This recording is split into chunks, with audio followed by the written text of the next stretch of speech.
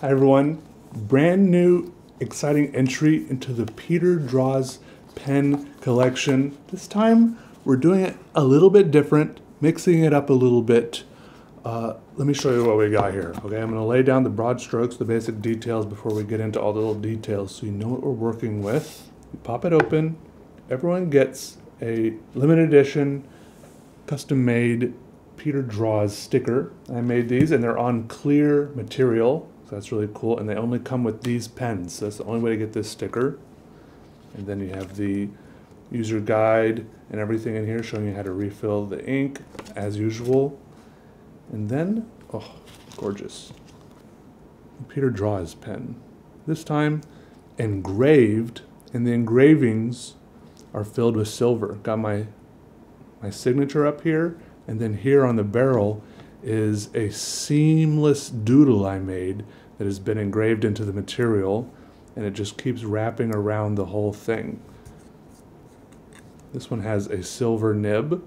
I say this one because check out what's in the other box. Slides open like so. Beautiful. Where's the sticker? There it is. Got the sticker.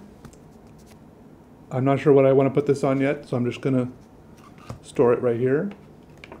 User guide. And then this one is the gold version. Oh, so shiny.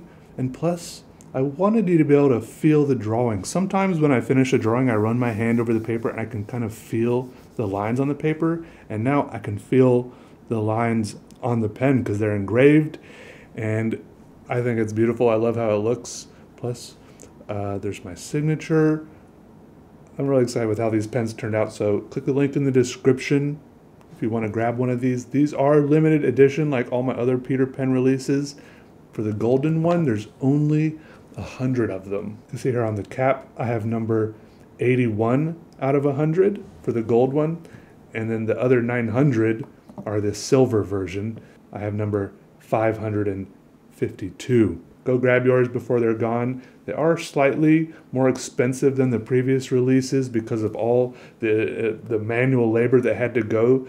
I was working closely with Nahvalur and Goldspot to make these pens on the phone with them all the time, FaceTime calls, working out all the details.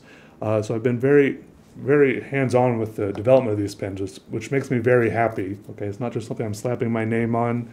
And they've sent me pictures of the Goldspot offices where they have like all these people around a table, hand filling the engravings with the like with the gold and the silver. It's not obviously not real gold and silver.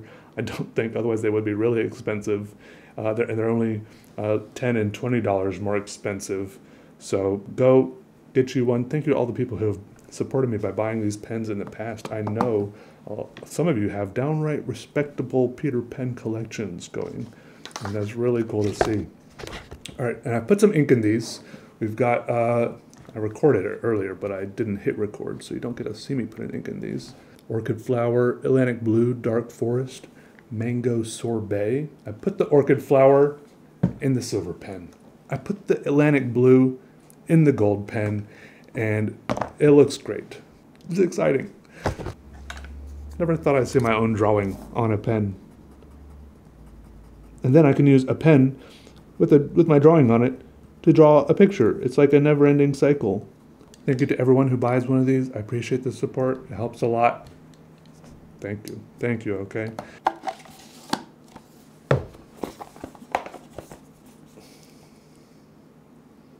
Ta-da! Peter Pan. Let's try out a little two-tone drawing with these two Peter pens. They're both fine nibs, but there is a selection of nibs available.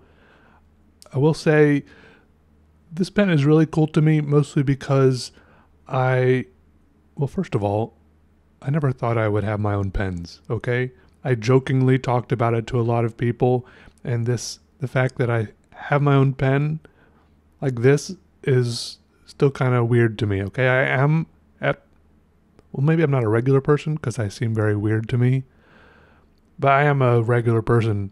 I just sit here Okay, I'm just sitting here, and I have a, a Peter pen, and it's not just like a pen that says Peter on it. Okay, I I think it's pretty cool how many ways I added my art to this. Right, it has a drawing that I made wrapped around the barrel of the pen, has my signature on the cap, and I included a little custom sticker. I made the box art.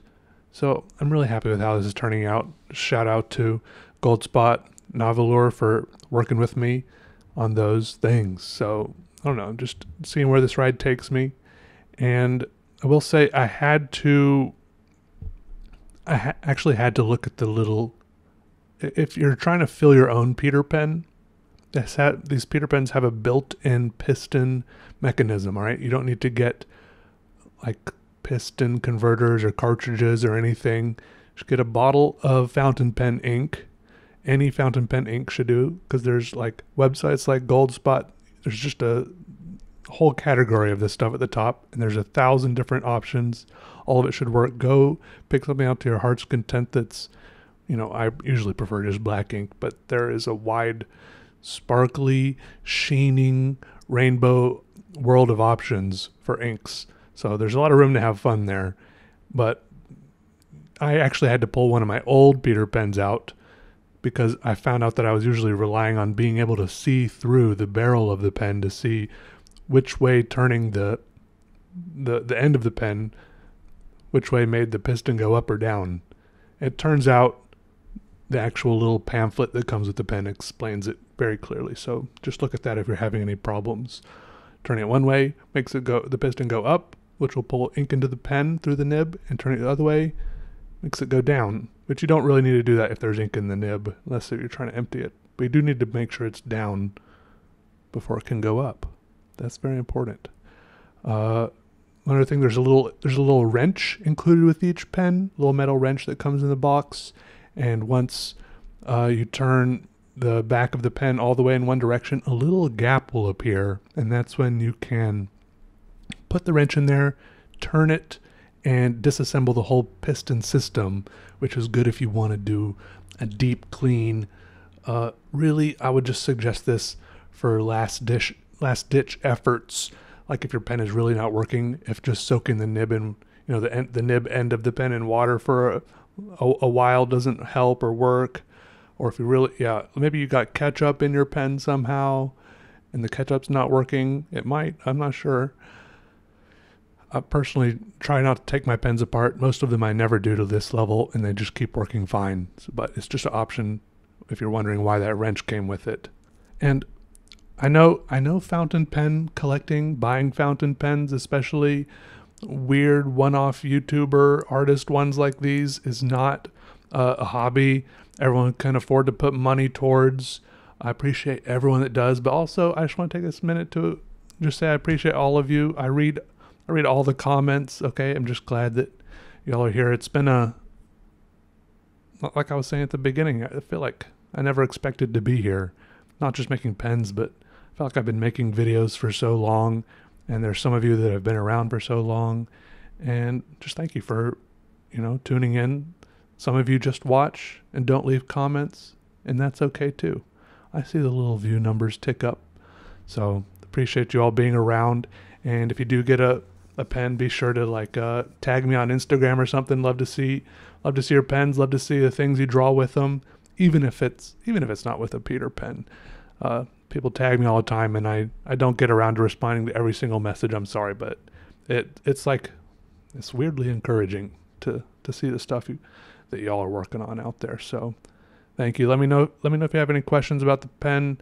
It um it's roughly about a pen wide and a pen long, give or take, and it's uh, shiny and engraved, and you can draw pictures with it, write letters, put it in your pocket, keep it on your desk. Uh, if you know pen spinning, you could try that. I've tried pen spinning, did not work out well for me. Uh, actually, maybe only do pen spinning. I, I don't want to tell you what to do, but maybe only do pen spinning with the Peter pen if you're like expert to, to master level, maybe journeyman level, but at least my experience with pen spinning involved dropping a lot of pens on my desk on the floor. And look, the Peter pen is a sturdy pen, but that is excessive amount of impacts. Okay. So thank you everyone. Cheers to everyone who gets one and thank you and see you all in the next video. Have have a good day. Goodbye. Good night. Sweet dreams.